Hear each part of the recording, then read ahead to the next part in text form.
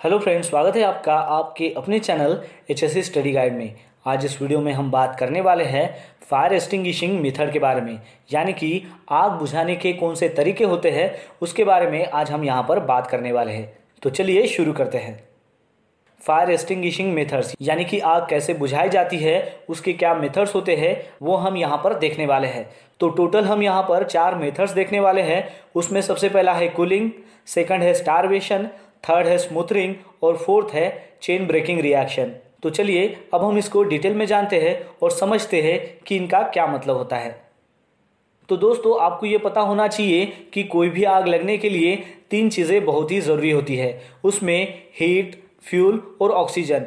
ये जब तीनों चीज़ें मिलेगी, तभी आग लगेगी। और इसमें से अगर एक भी चीज़ अगर हमने निकाल दिया तो आग नहीं लगेगी। तो उसी मेथड को हम यहाँ पर अभी अप्लाई करने वाले हैं।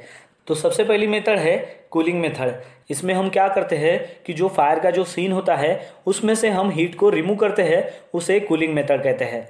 और इस हीट को हम रिमूव करने के लिए बाय यूजिंग वाटर जो है वो इस्तेमाल कर सकते हैं, या फिर फोम टाइप जो फायर एक्सटिंग्विशर है, उसका भी हम इस्तेमाल कर सकते हैं।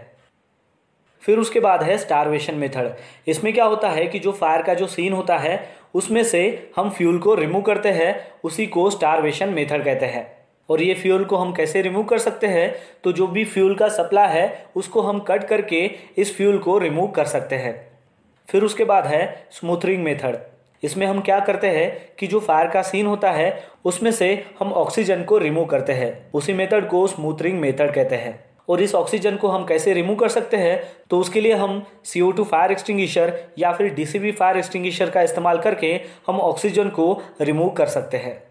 और फिर उसके बाद हमारी मेथड है चेन ब्रेकिंग रिएक्शन इसमें हम क्या करते हैं कि जो फायर की जो चेन होती है, उस चेन को हम डीसीपी फायर एक्सटिंग्विशर का इस्तेमाल करके भी तोड़ सकते हैं, या फिर ब्लैंकेटिंग का इस्तेमाल करके भी उस चेन रिएक्शन को तोड़ सकते हैं। इस चेन रिएक्शन में क्या होता है कि किसी एजेंट को हमें अप्लाई करना पड़ता है उस केमिकल चेन रिएक्शन के ऊपर, ताकि वो जो जलने वाली जो प्रोडक्ट्स है, उसमें ब्रेकडाउन कर सके। और ये जो ब्रेकडाउन है, ये हीट या फिर ऑक्सीडाइजेशन के ज़रिए होता है। तो ये जो चारों मेथड है, इसमें से अगर हमने किसी एक को भी अगर इंटरफेयर कर लिया, यानी कि किसी एक को भी अगर रिमूव कर लिया तो हम फायर को बढ़ने से रोक सकते हैं। चलिए अब हम एक चार्ट देखते हैं और उसके थ्रू समझते हैं कि ये चारों मेथड कैसे अप्लाई होती है। तो जैसे क्लास ए फायर है, जैसे उसमें जो सोर्स होता है पेपर हो गया या फिर उड हो गया तो उसके लिए हम कूलिंग मेथड या फिर ब्लैंकेटिंग का इस्तेमाल कर सकते हैं।